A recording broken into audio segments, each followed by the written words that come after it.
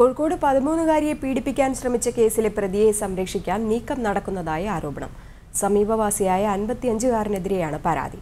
ഇക്കഴിഞ്ഞ ജൂൺ പതിനഞ്ചിനാണ് പെൺകുട്ടിയെ പ്രതി പീഡിപ്പിക്കാൻ ശ്രമിച്ചത്. ഒരു മാസം പിന്നിട്ടിട്ടും പ്രതിയെ അറസ്റ്റ് ചെയ്യാൻ പോലീസ് തയ്യാറായിട്ടില്ല.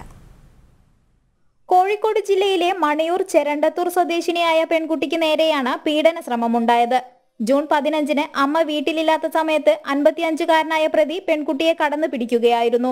ഭയന്നോടിയ പെൺകുട്ടി അയൽ വീട്ടിലെത്തി വിവരം പറഞ്ഞതോടെയാണ് സംഭവം പുറത്തറിഞ്ഞത്. തുടർന്ന് ബന്ധുക്കൾ ബാലാവകാശ കമ്മീഷന് പരാതി നൽകുകയായിരുന്നു.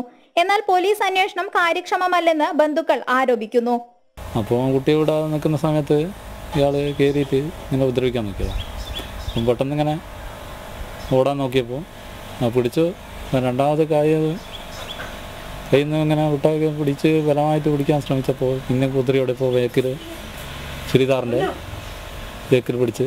അപ്പോൾ അപ്പോൾ അങ്ങനെയൊക്കെ വന്ന കുട്ടി ഓടി രക്ഷപ്പെട്ട്. അപ്പോൾ അപ്പുറത്തുള്ള ഒരാളുടെ അടുത്ത് പോയി സംഭവം കരയൊക്കെ ചെയ്തു. എന്താ എന്താ സംഭവിച്ചത് പിന്നെ അമ്മ ഞങ്ങളോട് ഇങ്ങനെ സംഭവം ഉണ്ടെന്നൊക്കെ പറഞ്ഞു അപ്പോൾ അമ്മയും പറഞ്ഞു അപ്പോൾ നമ്മളൊരു കംപ്ലൈന്റ് കൊടുക്കാമെന്നാണ് പെട്ടെന്ന് അറസ്റ്റ് ചെയ്യണം.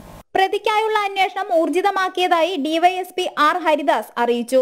അടച്ചുറപ്പില്ലാത്ത വീട്ടിലാണ് കുട്ടിയും അമ്മയും താമസിക്കുന്നത്. പരാതി നൽകിയതിനെ തുടർന്ന് പ്രതി ആക്രമിക്കുമെന്ന ഭീതിയും ഇവർക്കുണ്ട്. ജനം കോഴിക്കോട്.